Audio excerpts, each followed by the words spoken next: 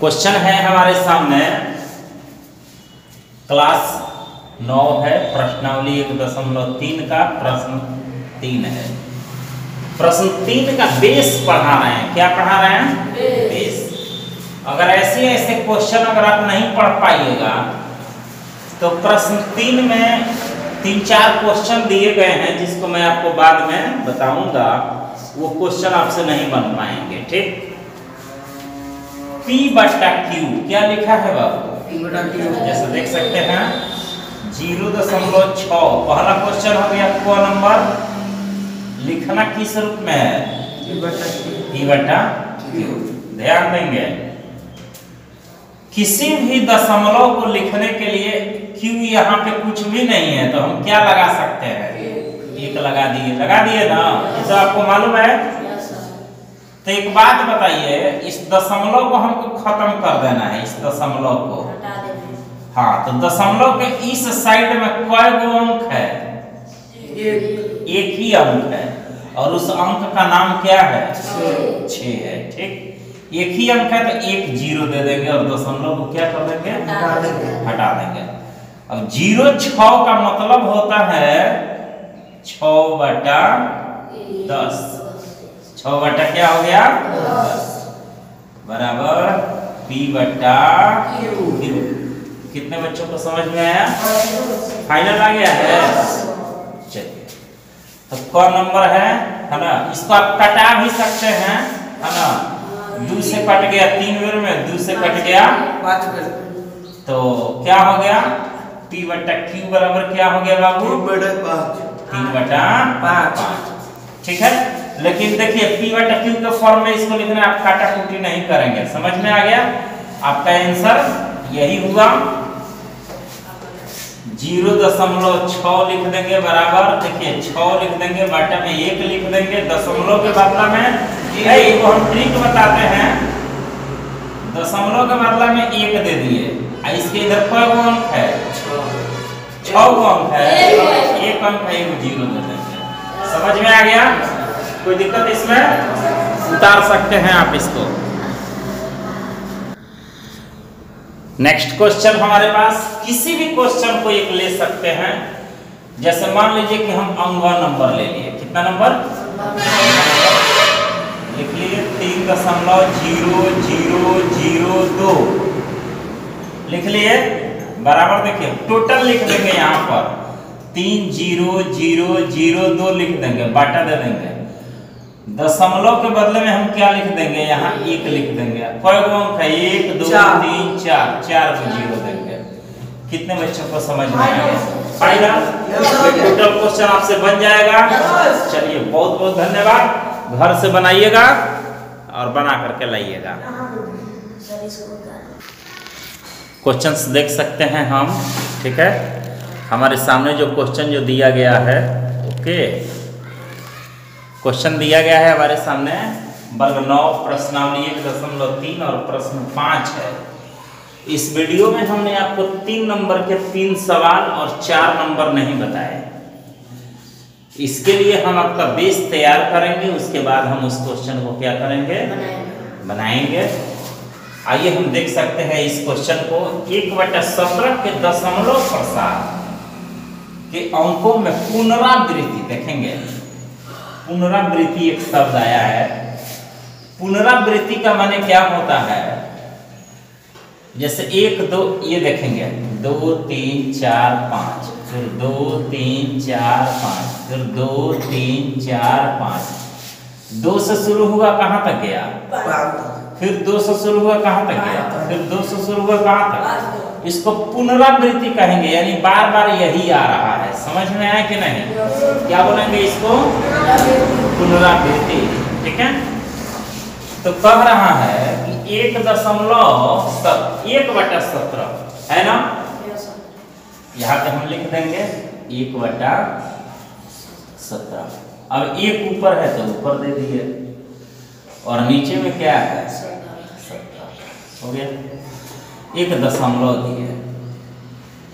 एक जीरो दिया अभी नहीं आया तो एक और जीरो है और सत्रह के पहाड़ से हम इसको कटाएंगे बोलिए कितना बार सत्रह पचे पचासी ना जी पंद्रह आ गया एक और जीरो दिए क्या दिए एक और जीरो दिए ठीक है आप यहाँ एक काम कीजिए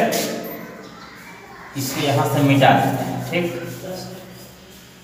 सत्रह के सत्रह सत्रह दुनी सत्रह दिया इक्यावन सत्रह चौदह अड़सठ सत्रह पचे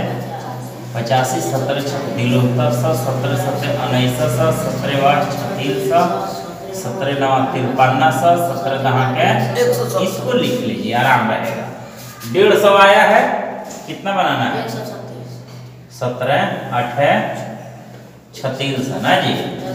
एक सौ छत्तीस माइनस कीजिए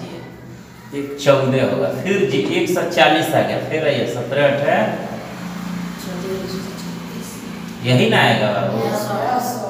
पचास में से छत्तीस जाएगा चौदह एगो जीरो बैठा देंगे फिर ये चार आ गया फिर यहाँ जीरो बैठा दिए सत्रह दुनी चौंतीस छ आ गया जीरो सत्रह तिया बनाते जाइए आप इसको तो। नौ आ गया जीरो सत्रह पचे पचासी क्या आ गया पाँच जीरो सत्रह दुना चौंतीस क्या आ गया जी सोलह आ गया जीरो सत्रह नवा एक सौ तिरपन एक सौ सात आ गया जीरो फिर अब हम यहाँ से शुरू करेंगे सात जीरो से सात जीरो हो गया हमारा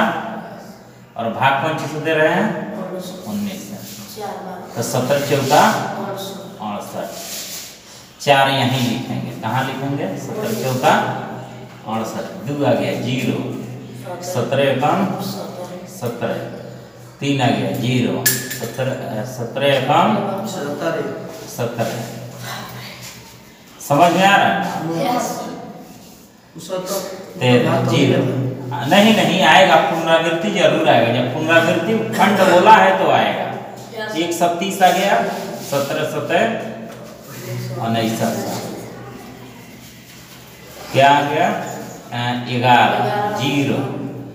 सत्रह छ दिलोत्तर सा क्या आ गया बाबू आठ जीरो सत्रह चौका अड़सठ कितना आ गया बारह जीरो आ गया ना इधर देखे तो एक सौ बीस का ही नहीं ना आया है यही एक सौ बीस इधर देख लेना है जहाँ को आके मैच कर दिया समझिए कि वहीं पे आके स्टॉप हो जाएगा एक सौ बीस तो सत्रह सत्रह उन्नीसा सा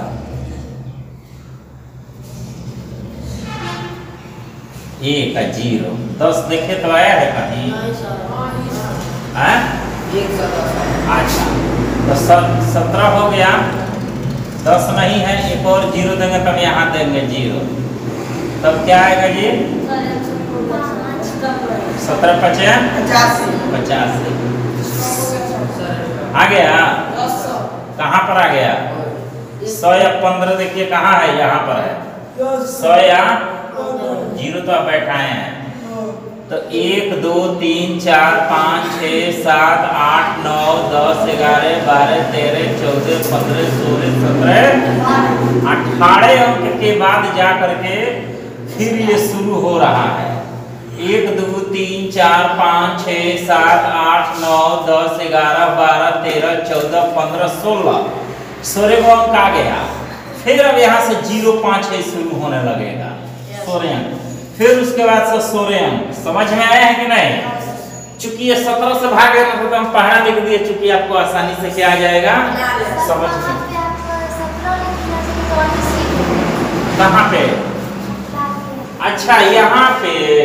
चलिए बहुत बढ़िया बहुत बढ़िया यहाँ पे हमको सत्रह हालांकि भाग तो सत्रह से ही दिया गया क्या ऐसे ही बच्चे ध्यान में रखते हैं किसी बात को ठीक है चलिए ओके आप इसे उतार सकते हैं ये हुआ आपका दोनों क्वेश्चन पुनः हम आपको अगले वीडियोस में और भी क्वेश्चन देंगे ठीक है